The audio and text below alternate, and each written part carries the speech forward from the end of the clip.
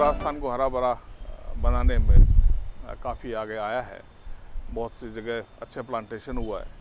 और राजस्थान को हरा भरा करने के लिए सभी लोगों को मैं आह्वान करता हूँ कि आगे आएँ और राजस्थान को हरा भरा करें।